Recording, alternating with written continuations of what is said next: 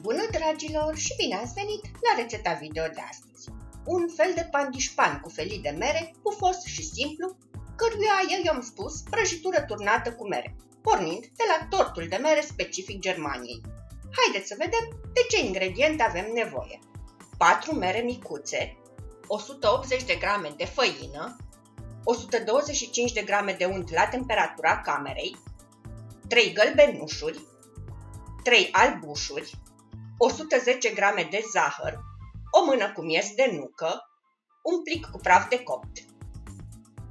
Coaja rasă de la o lămâie, o linguriță cu extract de vanilie, două lingurițe cu zahăr brun, zeama stoarsă de la o lămâie, două lingurițe cu zahăr, sare și un cup de unt pentru un stava.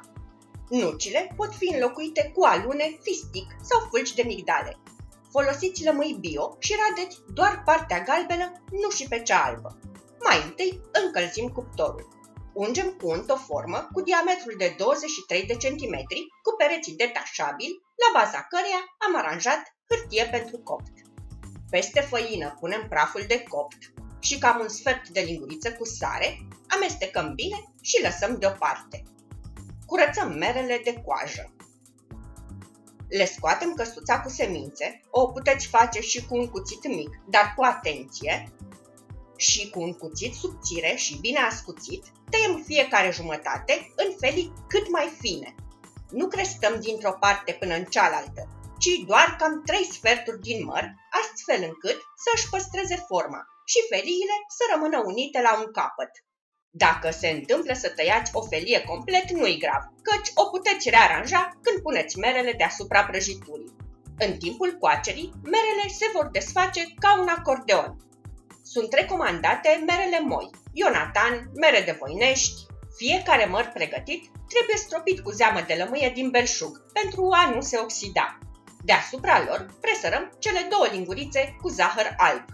Punem untul la temperatura camerei și cu minim 80% grăsime într-un castron mare, adăugăm zahărul și coaja de lămâie și mixăm până când zahărul se topește și avem o cremă spumoasă. Untul trebuie să fie cât mai moale pentru a se putea bate ușor. Adăugăm gălbenușurile, extractul de vanilie și mixăm bine până când se combină. Punem amestecul de ingrediente uscate în trei tranșe și mixăm după fiecare adăugare doar până când sunt încorporate în aluat. Compoziția o să fie una destul de groasă. O lăsăm puțin deoparte. Punem albușurile într-un bol curat și bine degresat și cam un sfert de linguriță cu sare și le batem spumă până când nu mai cad de pe paletele mixerului. Nu uitați să degresați și paletele mixerului. Punem o treime din spuma de albușuri peste compoziția făcută anterior și amestecăm energic pentru a o fluidiza. Adăugăm albușurile rămase în încă două tranșe, însă de data aceasta amestecăm cât mai ușor, de jos în sus, ca și cum am întoarce aluatul, pentru că vrem să păstrăm cât mai mult aer în el. Nu amestecăm mai mult decât este nevoie, doar până când spuma de albușuri nu se mai observă.